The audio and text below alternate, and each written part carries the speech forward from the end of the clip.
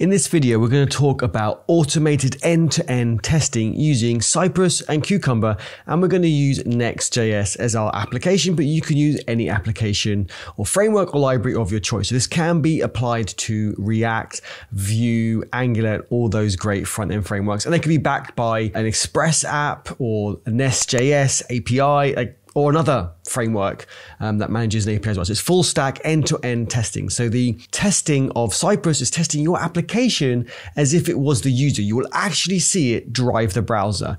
Let me show you. For those of you who haven't seen Cucumber, this is what it looks like. It's written in plain English, but we're going to go into the details of how to set it up and how to use it shortly. I just want to give you a quick demo now. So let me run the end-to-end test. So there's two ways that it can be run. It could be run headless is how you would run it on uh, CI, for example, GitHub Actions, but also you can run it with the actual app of Cypress running. And the beauty of Cypress is it will take screenshots on failures and also videos so you can actually see how it failed.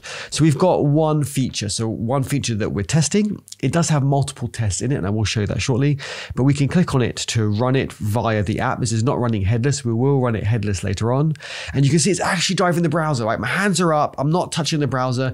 You're actually going to see it load the default Next.js app and it's going to navigate to the about page because that's what our test shows. Let's just give it a moment to run. It says navigating to the about page. Given I'm on the forward slash page, the homepage, you can see the homepage and about's now been clicked and now it's on the about page. Um, so you can see that it's run the tests and they're all green. Oh, we've got one failure. That's great. So what is the failure, Eddie? Well, let's have a look. So I see the about page in the H2. Well, if we inspect that, I'm guessing it's not a H2. So let's have a look at that and see. So if we inspect that, you can see it's a H1. So let's go have a look at this test. Well, let's have a look at the test. And it says the first test ran, I navigate to the about page, and, and that was a, a green, that was a, a, pass. You can see the tick on the side. And now we can see go straight to the about page, uh, go straight to the about page. I open the about you know URL um, about page in the H2. So up here it's a H1, down here it's a H2. Okay, so let's change that to a H1. Hit save. By hitting save, it automatically reruns the tests. Hands up here, and you can see tick and tick. So we can click on it to expand. And we can see that it did see the about page text in the H1. So I think that is great. Now you've seen a demo. Let's get into how we can set this up. If this video sounds interesting to you, don't forget to give it a thumbs up and subscribe if you haven't already. So why write automated tests? Well, automated tests allow you to test your entire project really fast each time you make a change. That's super great because if you make a change in one area, you probably confident it hasn't broken anywhere else but are you? But say you change something like authentication. Are all pages still protected? What happens if you change logging? Are all sections still logging? To go through and test all the happy paths, all the successful things like login, send a contact form. But what about the boundary condition? What about if you try to log in incorrectly? Does it fail automatically? Do you get shown the failure page? Happens if you try to send that form incorrectly? Is validation running? Well, you can't test this every time yourself.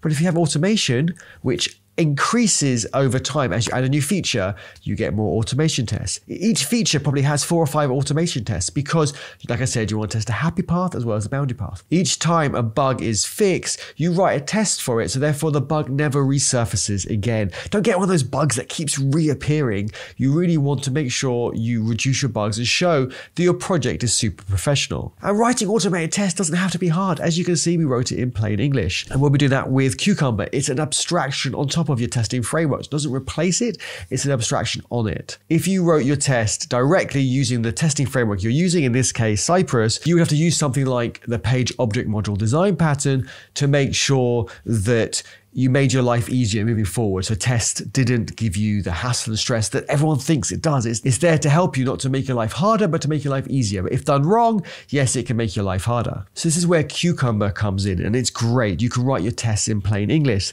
And the idea is you give yourself a scenario and then you say given when then. So the scenario is the, is the title and it can just be anything you want.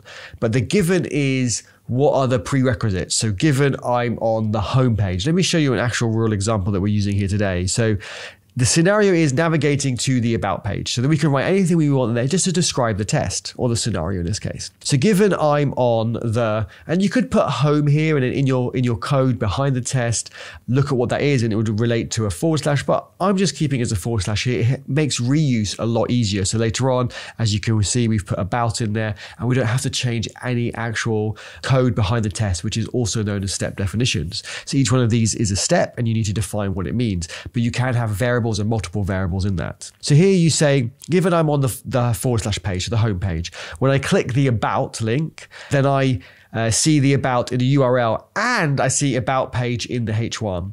So those are the three actions. So it's given, when, then, and then you can have multiple conditions in each one by putting the word and. We've reused the same Gherkin syntax here down below, but we haven't added any extra code for this. And I'm going to show you this right now. So Eddie, how are we going to do this? Well, we could set up Cypress from scratch on a new Next.js project. It's really straightforward. It's a few steps to do that. Um, it is literally install uh, Cypress and run a command and you're there. But I've noticed Next.js does actually have examples. One of their examples is with Cypress. So I was thinking in this video, could we contribute another example, which would be with Cypress and Cucumber. Yeah, you guessed that right. So what I've done is I have forked this project and I've cloned it. And so I didn't need to install Cypress. It's already there as part of the example in Next.js. But we do need to install Cucumber to use it with Cypress. And there is actually a Cypress Cucumber preprocessor which you can use. And it's really straightforward to use. To get started, you run the npm install as you normally would, installing any dependency.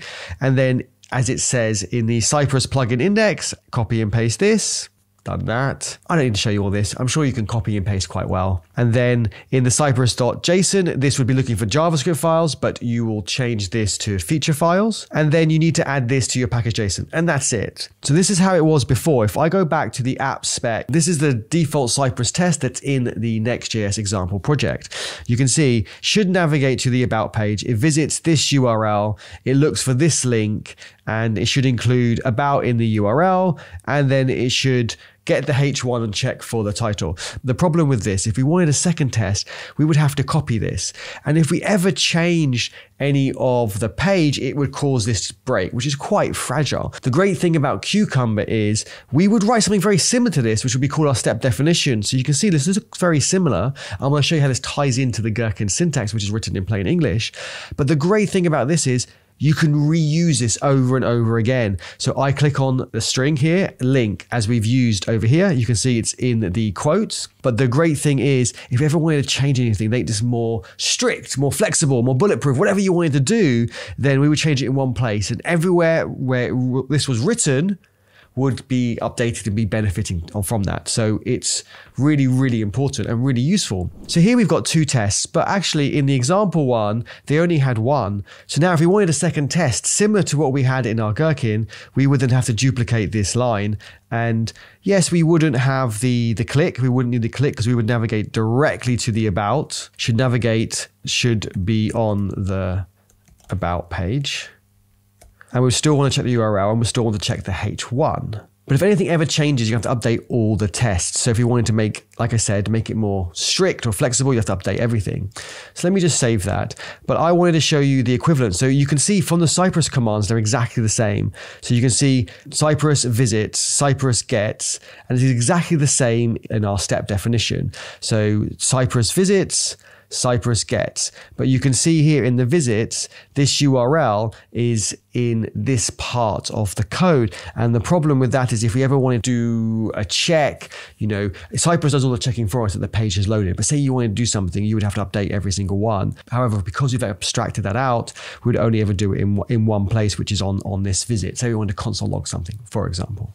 So each one of these relates to one of these exactly. But whatever's in the quote, we replace with a string or a number depending on what you're passing through. And then Cucumber passes it through to the function, and then you can do the same check that was being done before in the actual Cypress test. So that's very, very similar. So being written in plain English, not only can everyone in the team get involved in adding new tests, when you try and plan your features, you can actually write it in this syntax already. Therefore, it could be copied and pasted from the issue into the feature file, and then you can run it, it will fail, and then you could go and add actually the code to the project to, to make it pass, and therefore it will go green. As running end-to-end headless, we don't see the browser run, and this is how we would run it on CI, and it runs a little bit faster as well.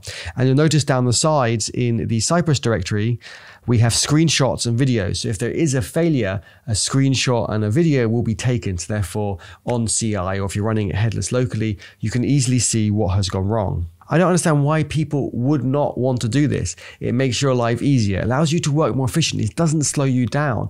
This actually allows you to speak to your client, to speak to the product owner, whoever it is, to understand what is going to be built. And then you can work with, you know, everyone in the team to get this and you can make sure you get those regression tests as you move forward. I've seen so many projects that as they grow bigger, they're like, oh yeah, we can write a form, a really complicated form and a wizard, and we can do that in two hours. And then six months later, to do the same thing takes them like two months. And that's because they've got so much debt in the project that they can't confidently refactor anything. It's a real mess. And automated test allows you to confidently make improvements and refactor things. You know the rest of the project works the same. You can do things and add tags. So you could say something like, uh, this would be the about page. And the great thing about tags is if you were running this locally and it took quite a long time to run, you could run just your module, but on CI, it would run the entire test suite. There are lots of great things that you can do like that. I purposely didn't follow the tutorials and documentation line by line for you in this video because Cypress and Cucumber have great documentation and you can follow that yourself. I wanted to show you the benefits and how I use this and how you can use this too.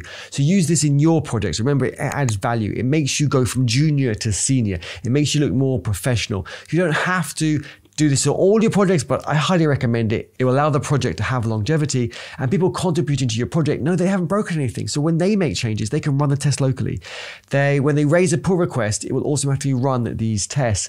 And that way they know that it still works and haven't broken anything else. If you want to have a look at a real project that is using this, you can go to the EddieHub project LinkFree and you can actually see we have Cypress here and it's exactly the same as what you've just seen. So you can test this 404 page. Do you know if your 404 page works? Test your search. Do you know if your search works. We have things like this.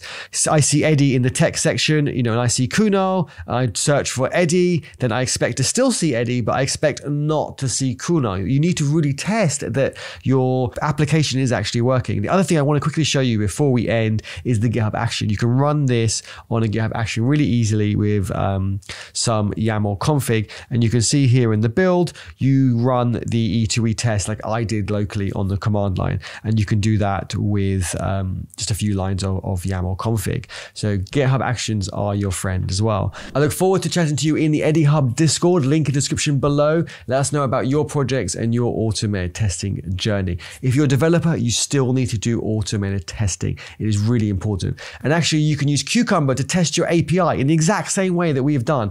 I actually had a video on this using Cucumber and Pactum.js link in the description below. You can test any API. And you might think, well, if I'm doing end-to-end testing in the UI, why would I want to test my API in Next.js? Well, there are certain things you will not be able to test from the UI.